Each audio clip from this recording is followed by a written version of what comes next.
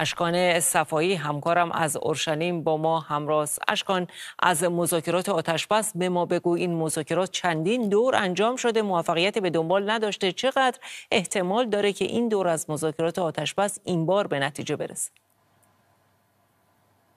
خب به نظر میاد این بار بعد از چند ماه خوشبینی ها کمی بیشتر هست. هرچند که باید گفت دفتر بینیامین نتانیاهو در بیانیه‌ای که دیشب داده گفته که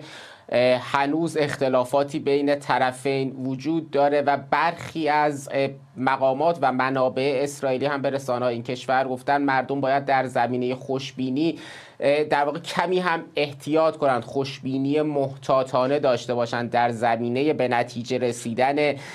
مذاکرات کنونی. اما همین که مذاکرات در سطح بالا دوباره انجام داره میشه بعد از مدت ها نشون میده که خب احتمال بیشتری برای رسیدن به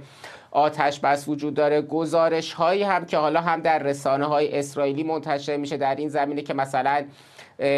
اولا وزیر دفاع و تا حدی هم حتی خود بینیامین نتانیاهو متمایل هستند که این بار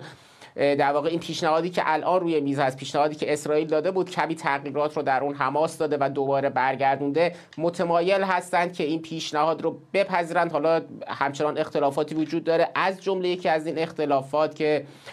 باید گفت که رسانه های اسرائیلی هم بهش اشاره کردن برمیگرده به اینکه حماس همونطوری که یکی از مقاماتش امروز هم به خبرگزار رویترز گفته خواهان این هست که از همون مرحله اول که آتش بس آغاز میشه و بعد از 16 روز اون چیزی که این مقام حماس گفته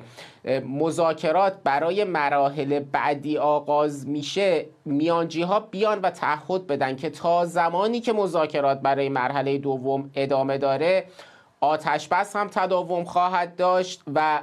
خروج در واقع عقب نشینی نیروهای اسرائیلی از نوار غزه هم ادامه خواهد داشت. این در حالی است که اون چیزی که باز رسانه های اسرائیلی میگن این هست که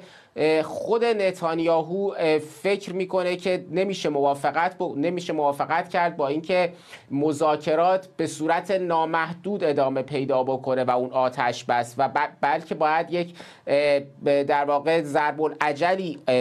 گذاشته بشه برای اینکه مذاکرات تا چه زمانی به نتیجه برسه. باید گفت که در این میاد اختلافاتی هم البته درون کابینه اسرائیل وجود داره. از یک طرف یاو گالانت هست وزیر دفاع اسرائیل که گفته میشه کاملا موافق هست یا به شدت موافق است با این پیشنهاد آتش بس و از اون طرف هم در واقع احزاب راستگرای افراطی درون دولت هستند که حتی تهدید کردند که اگر اسرائیل رو بپذیره از دولت خارج میشه. متشکرم اشکان از گزارش جامعه اشکان صفایی خبرنگار ما در اسرائیل از اورشلیم با ما.